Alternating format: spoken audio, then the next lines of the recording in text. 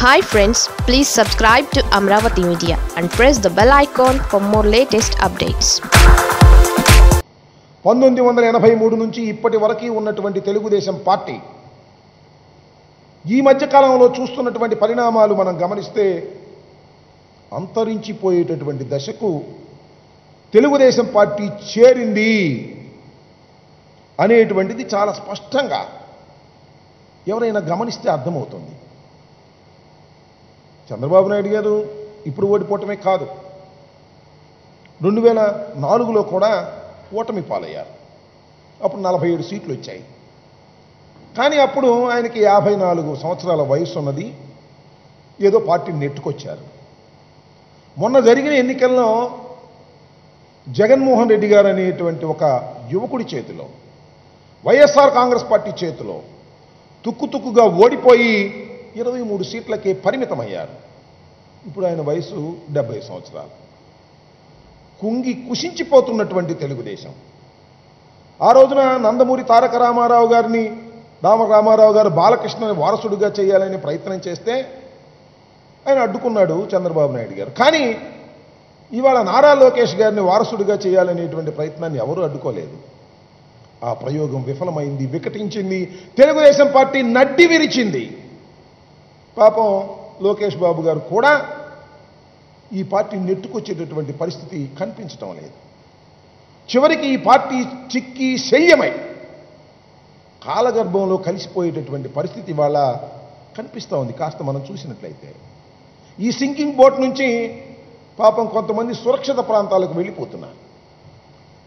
కొంతమంది మరి చంద్రబాబు నాయుడు గారు పంపించారో లేక వారే సురక్షిత ప్రాంతానికి వెళ్ళిపోవాలనుకున్నారో కొంతమంది వెళ్ళిపోయి పరపార్టీల్లో చేరారు. కొంతమంది అయ్యో అసలు ఈ పార్టీలో ఉంటే మేము నాశనం అయిపోతామని ఒకరిద్దరు శాసనసభ్యులు పార్టీని వదిలి పక్కకు వెళ్ళిపోయినటువంటి సందర్భం కూడా కనిపిస్తూ ఉన్నది. దీనంతా చూస్తుంటే తెలుగుదేశం పార్టీకి అవసాన దశ చంద్రబాబు నాయుడు గారి చేతిలో వచ్చింది అని అనిపిస్తూ ఉన్నది. ఈ విషయాన్ని మనమే కాదు తెలుగుదేశం పార్టీని వెనుక నుంచి నడిపించేటటువంటి చీకటి శక్తులు కూడా గమనించాయి. ఇంకా చంద్రబాబు నాయుడు గారి వల్ల కాదు ఈ పార్టీని లాగటం ఎవరైనా ఒకరిని తీసుకొచ్చి ఆవిష్కరిద్దామనేటువంటి ప్రయత్నం మనం ఆ మీడియా శక్తులు కానీ అవి కానీ చూస్తుంటే మనకు అర్థమవుతోంది. వాళ్ళ పేపర్లో వచ్చేటటువంటి వార్తలు. చంద్రబాబు నాయుడు గారి కన్నా కూడా ఇంకొక వ్యక్తిని ఇంకొక వ్యక్తి సమూహాన్ని తీసుకొచ్చి ఫ్రంట్ పేజీలో పెట్టి ఇన్ని కిందకి డౌన్ చేసినటువంటి సందర్భాలు కూడా మనం చూస్తున్నాం. కాబట్టి ఇది మునిగిపోతున్నటువంటి పడువా. నారా లోకేష్ గారు కూడా దీన్ని కాపాడలేనటువంటి దశకు వెళ్ళిపోయింది. ఆయన వల్ల కూడా కాలేదు. ఆయన కూడా వికటించినటువంటి రాజకీయవేత్త అనేటువంటి పరిస్థితులు ఇవి ఇలా ఉంటే పాపం చంద్రబాబు నాయుడు గారి పరిపాలన గత ఐదు సంవత్సరాల్లో చేసినటువంటి పరిపాలన ఆ పాపాలు వెన్నంటి వస్తున్నాయి. మనం చూస్తున్నాం ఇవాళ పాపం చంద్రబాబు నాయుడు గారు ఐదు సంవత్సరాలు పరిపాలన చేసినప్పుడు మేము ఐదు సంవత్సరాలు అనేక సందర్భాల్లో వారిని విమర్శ చేశాం. ముఖ్యంగా అమరావతి నిర్మాణం. అమరావతి నిర్మాణం అనేది ఒక స్కామ్. దీనిలో వేల లక్షల కోట్ల రూపాయలు కాజేసేటటువంటి ప్రయత్నం జరిగింది అని అనేక సందర్భాల్లో చెప్పాం. చంద్రబాబు నాయుడు గారు సవాళ్ళు విసిరాడు. పట్టుకొని చూద్దాం. ఎక్కడ స్కామ్ చేశానని. ఇవాళ జరుగుతున్నటువంటి పరిణామాలు ఏమిటని అడుగుతా ఉన్నాను సిఐడి విచారణ జరిపింది. ఆ విచారణ తీసుకువెళ్ళి ఈడీకి అప్పగించింది. ఈడీ ఇవాళ విచారణ చేస్తున్నటువంటి సందర్భాన్ని మనం చూస్తున్నాం. చూస్తుంటే ఒక్కొక్కటి బయటకు వస్తున్నాయి. వైట్ కార్డు హోల్డర్స్ కోట్ల రూపాయలు ఖర్చు పెట్టి భూములు కొన్నారు.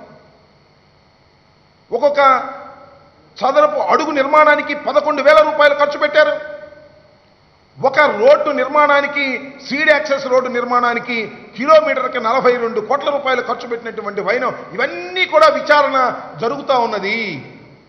దీనిలోంచి అనేకమైన వాస్తవాలు.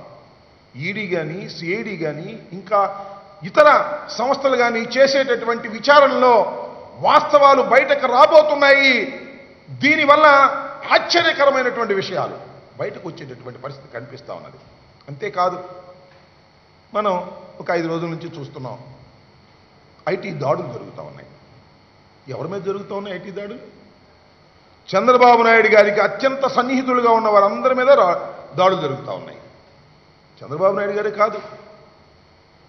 ఐదు సంవత్సరాల పాటు ఈ రాష్ట్రంలో అధికారాన్ని వెలగబెట్టినటువంటి వారి కుమారుడైనటువంటి లోకేష్ గారికి సన్నిహితంగా ఉన్న వారి అందరి మీద అటాకులు జరుగుతూ ఉన్నాయి. ఏదో సడన్గా అటాకులు జరుగుతున్నాయి నేను అనుకోవడం వల్ల పత్రికలు చూసిన తర్వాత. దీని మీద చాలా ఎంక్వైరీ చేసిన తర్వాత చాలా ఇన్ఫర్మేషన్ గ్యాదర్ చేసిన తర్వాత ఐటీ దాడులు జరుగుతూ ఉన్నాయి. ముఖ్యంగా పిండియాల శ్రీనివాస్ అనే ఆయన మీద చంద్రబాబు నాయుడు గారికి అత్యంత సన్నిహితుడిగా ఉండి పిఎస్గా పనిచేసినటువంటి వ్యక్తి సుదీర్ఘకాలం పిఎస్గా పనిచేసినటువంటి వ్యక్తి. ఆయన ఇళ్ళ మీద ఎక్కడెక్కడైతే ఉన్నాయో వాటికి సంబంధించిన ఇళ్ళ మీద ఏకకాలంలో దాడులు జరిగాయి. బహుశా హైదరాబాద్లో నేను సాయంత్రమే ముగిసింది. ఇక్కడ ఏదో కంచుకోట అనేటువంటి బా దానిలో ఇంకా జరుగుతూ ఉన్నాయని నాకున్న సమాచారం. అయిపోయింది కనుక కూడా అంటున్నారు. అంటే ఐదు రోజుల పాటు విచారణ జరిపారు. చాలా వాస్తవాలు బయటకు తీసుకొచ్చే ప్రయత్నం చేస్తున్నారు.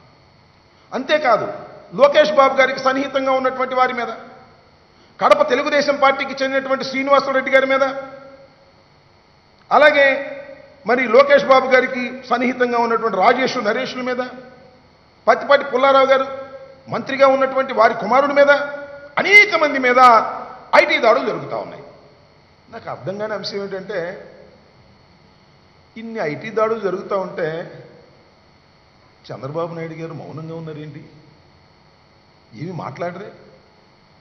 మౌనం అర్ధాంగీకారమా? లేక పూర్తి అంగీకారమా? ఐటీ దాడులు జరిగితే సహించను. ఈడీ వస్తే సహించను. మా రాష్ట్రంలో అడుగు పెట్టడానికి వీల్లేదు అని ఘీంకరించారే. మీరు అధికారంలో ఉన్నప్పుడు మీరు ముఖ్యమంత్రిగా ఉన్నప్పుడు మరి వాళ్ళ మీ సన్నిహితుల మీదే ఐటీ దాడులు జరుగుతూ ఉంటే ఘీంకరించకపోతే ఘీంకరించకపోయారు. మ్యావ్ అని అరవలేకపోతున్నారే. ఏమొచ్చిందబ్బా? దొరికారా? మీ భర్త పట్టబోతున్నారా? నేను నిప్పుని అన్నారు. నిప్పో తుప్పో ఇప్పుడు తేలాలి. మీరు మాట్లాడండి నేను నిప్పునని మళ్ళా మాట్లాడండి. ఇంత ఘింకరించినటువంటి మీరు ఎందుకు మౌనంగా ఉన్నారు? ఏమిటి దాని రహస్యం? బహుశా కథ ముగిసేటప్పుడు మౌనంగా ఉంటారేమో నాకు అర్థం కాలేదు. మీ కథ ముగవబోతుంది. మీరు చేసినటువంటి అనేక పాపాలకు ఐదు సంవత్సరాల పాటు ఈ రాష్ట్రంలో దోచుకున్నటువంటి విధానం ప్రజలకు తెలియపరిచేటటువంటి సమయం ఆసన్నమైందని మనం చేస్తున్నాం. మీరు ఎంతోమంది అమాయకులైనటువంటి వారిని ఉపయోగించుకున్నారు. ఉపయోగించుకొని వారి ద్వారా కోట్ల రూపాయలు సంపాదించి మీరు పెత్తనం చలాయించాలి డబ్బుతోనే రాజ్యాధికారాన్ని కొనసాగించుకోవాలనే తాపత్రయంతో లక్షల కోట్లు వేల కోట్లు దోచుకున్నటువంటి విషయాన్ని మీరు ఎన్ని దబాయింపులు డబాయించినా ఇవాళ దొరికిపోయేటటువంటి పరిస్థితి వచ్చిందనే విషయాన్ని మీరు గమనించండి. ఇది వదిలేసి ఉద్యమాలు. మాట్లాడితే ఉద్యమం. ఏ ఉద్యమాలు? నాకు అర్థం కాలేదు.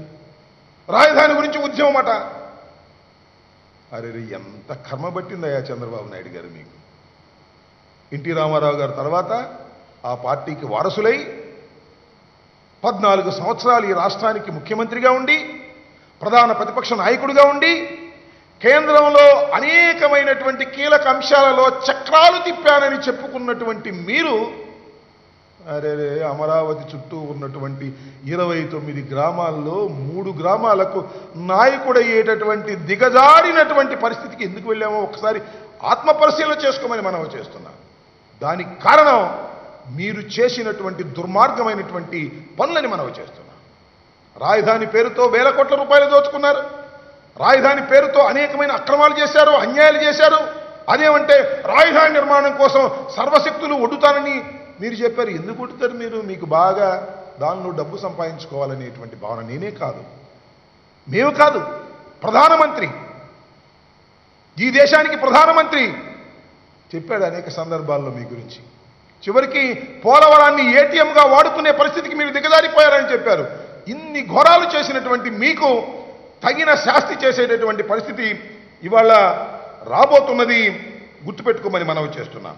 డెబ్బై సంవత్సరాలు నిండినటువంటి మీరు మళ్ళా రాజకీయాల్లో ఈ ఒడిదుడుకుల్లో పార్టీని ముందుకు తీసుకువెళ్ళేటటువంటి శక్తి సామర్థ్యం మీకు లేనటువంటి పరిస్థితుల్లో మీరు ఇవాళ ఉన్నారనే విషయాన్ని దయచేసి గమనించాలని తెలుగుదేశాన్ని నడిపిస్తున్నటువంటి చీకటి శక్తులు కూడా ఒకసారి ఆలోచించుకోమని మనవి చేస్తున్నారు అయ్యా మీరు చిన్న విషయం జరిగితేనే ఈ రాష్ట్రంలో జగన్మోహన్ రెడ్డి గారికి కోర్టుకు హాజరు కాకపోతేనో జగన్మోహన్ రెడ్డి గారి పిటిషన్ కోర్టులో డిస్మిస్ చేస్తేనో ఫ్రంట్ పేజీలు వేసేస్తారే? ఏది? అయ్యా నేను త్రీ సెవెంటీన్ ప్రకారం నేను కోర్టుకు హాజరు కాను ముఖ్యమంత్రిగా ఉన్నాను. నా తరపున మరొక ప్లేటర్ గారు హాజరవుతారంటే లోయర్ కోర్టులో దాన్ని డిస్మిస్ చేస్తే ఫ్లాష్ ఫ్లాష్ ఫ్లాష్ అని ఫ్రంట్ పేజీలు వేసేస్తారు. ఇవాళ చంద్రబాబు నాయుడు గారికి అత్యంత సన్నిహితులుగా ఉండే ఉన్నవారి మీద దాడులు జరుగుతుంటే ఎక్కడ ఇస్తున్నారు ఫ్రంట్ పేజీలు వేస్తున్నారా? దానికి ఇవ్వాల్సిన ప్రిఫరెన్స్ ఇస్తున్నారా? దాచేస్తే దాగుతుందా సత్యం? ఒకసారి ఆలోచించుకోమని మనం చేస్తున్నా. ఈ పత్రికలు ఎల్లో మీడియా వారు మీరందరూ కలిసి చంద్రబాబు నాయుడు గారిని ఎంత ఎత్తాలన్నా ఎత్తే పరిస్థితుల్లో లేరు దిగజారిపోయి ఉన్నారు. అది ఆలోచించుకోవాలని కూడా ఈ సందర్భంగా మీ ద్వారా ఆ పత్రిక కూడా తెలియజేస్తున్నాను వార్తలు వార్తలుగా వేయండి. ఎంత వార్త అంత వార్తగా వేయండి తప్ప జగన్మోహన్ రెడ్డి గారు వైఎస్ఆర్ కాంగ్రెస్ పార్టీకి ఏదైనా చిన్న నోటీస్ వస్తే అది పెద్దదిగాను. ఈడీ అటాకులు జరిగి తెలుగుదేశం పార్టీ వారిని బుక్ చేస్తే అది చిన్న వార్తగాను. లోకేష్ బాబు గారికి అత్యంత సన్నిహితులైన వారి మీద దాడులు చేస్తే దాడులు జరగనట్టుగాను. ఇలా చేసి ప్రజలు ఎలా మభ్యపెడతారని మనం చేస్తున్నాం. ఈ రాష్ట్రాన్ని ఐదు సంవత్సరాల పాటు తండ్రి తన ఇద్దరూ కూడా దోచుకున్నారు. అనేకమైన అక్రమాలు చేశారు అన్యాయాలు చేశారు. రాజధాని పేరుతో అనేకమైన లూఠీలు చేశారు. ఇవాళ చంద్రబాబు నాయుడు గారు చెప్తున్నారు నాకు చాలా ఆశ్చర్యం వేస్తుంది. నలభై ఐదు మంది చనిపోయారంట. దీనిలో? రాజధాని ఉద్యమంలో నలభై ఐదు మంది గుండెలాగి ఆత్మహత్యలు చేసి చనిపోయారట. ఆయన చెబితే మనం నమ్మాలి. ఎక్కడ నలభై ఐదు మంది చనిపోయింది? అంటే బహుశా ఈ రాజధాని ఉద్యమం ప్రారంభమైన తర్వాత ఆ ప్రాంతంలో నలభై ఐదు మంది చనిపోయి ఉంటారు. నలభై ఐదు మంది చనిపోతే వాళ్ళందరికీ దండలేయటం రాజధాని గురించి చనిపోయారు అయ్యో రాజధాని రాజధాని రాజధాని కేకలేస్తూ చనిపోయారట. ఏమిటి కథలు నాకు అర్థం కాలేదు. నలభై ఐదు మంది ఒక ఉద్యమంలో చనిపోతే అది పెద్ద వార్త అండి దేశం మొత్తం. చిన్న వార్త కాదు అది. చనిపోయిన ప్రతి వాడి మీద దండేసి రాజధాని కోసమే చనిపోయాడని చెప్పి చెప్పుకొని శవాల రాజకీయాలు చేసేటటువంటి నీచ స్థితికి చంద్రబాబు నాయుడు గారు తెలుగుదేశం పార్టీకి దిగజారిపోయింది. ఇది గుర్తుపెట్టుకోమని మనం చేస్తున్నాం. కాబట్టి మునిగిపోతున్న నావా ఏమిటది? తెలుగుదేశం పార్టీ మునిగిపోతున్నటువంటి నావ లాంటిది. ఏ క్షణంలో ఏమైనా జరగవచ్చును? చంద్రబాబు నాయుడు గారు ఇది గమనించే గమని పాపం. తన పార్టీలోనే తాను చీలిక తీసుకొచ్చి కొంతమందిని బీజేపీలో చేర్చారు. తన పార్టీలో కొంతమందిని బయటికి పంపించి తాను రక్షించుకోవాలనేటువంటి ప్రయత్నం చేస్తున్నారు. ఇది మునిగిపోయే పడవ ఈ పడవలో నుంచి అందరూ పారిపోయేటటువంటి పరిస్థితి ఏర్పడుతుంది. దీన్ని ఎవ్వడు కాపాడలేడు. ఎవడు చేసుకున్న కర్మ వాడు అనుభవించవలసిందే. పంతొమ్మిది వందల ఎనభై మూడులో కాంగ్రెస్ పార్టీకి వ్యతిరేకంగా నందమూరి తారక రామారావు గారు ప్రారంభించినటువంటి ఈ రాజకీయ పార్టీ చంద్రబాబు నాయుడు గారు చంద్రబాబు నాయుడు గారి కుమారుడి చేతిలో అంతరించబోతా ఉన్నది. ఇది నా అభిప్రాయం కాదు. తెలుగుదేశం పార్టీ అభిప్రాయమే. చాలామంది సీనియర్స్ అంటున్నారు. అయ్యా తీసుకొచ్చి మాకు ఆ నారా లోకేష్ వాళ్ళ అబ్బాయిని పెట్టాడు. ఆయన వల్ల ఏమీ కాదు. ఒక ముద్దు స్వరూపం. ఆయనకి రాజకీయం తెలియదు ఆయన తీసుకొచ్చి మా ముందు పెట్టి ఆయన వెనకాల మమ్మల్ని నడవమంటే పార్టీ ఇలాగే ఉంటుంది. ఇలాగే సర్వనాశనం అయిపోయిందని చెవులు కొరుకుంటున్నారు వాళ్ళే ఈ పార్టీలోంచి బయటకు పోవాలనేటువంటి ప్రయత్నం చేస్తున్నారు. వాళ్ళే ఈ పార్టీ నుంచి చీలిక తీసుకురావాలనే ప్రయత్నం చేస్తున్నారు. కాబట్టి నారా లోకేష్ గారి నాయకత్వంలో చంద్రబాబు నాయుడు గారి నాయకత్వంలో నూరేళ్ళు నిండబోతున్నటువంటి రాజకీయ పార్టీ తెలుగుదేశం పార్టీ గుర్తుపెట్టుకోమని ఈ సందర్భంగా ప్రజలందరికీ కూడా మనవి చేస్తున్నాను. చంద్రబాబు నాయుడు గారు అన్నిటికీ సిద్ధంగా ఉండండి. అన్నారా మధ్యన కొండను తవ్వి ఎలికలు పెట్టారు అని. కొండను తవ్వుతున్నారు ఐటీ వాళ్ళు ఈడీ వాళ్ళు అందరూ ఎనుగును పడతారో పెద్ద ఏనుగును పడతారో రాబోయే కాలంలో మీరే చూస్తారు. అనేక దుర్మార్గమైన కార్యక్రమాలు చేసినటువంటి వ్యక్తి ఎప్పటికైనా అనుభవించక తప్పదు. చంద్రబాబు నాయుడు గారు కూడా ఆ కోవకే చెందుతారు. ఇది గుర్తుపెట్టుకోమని చంద్రబాబు నాయుడు గారిని మీ ద్వారా కోరుతూ ఉన్నారు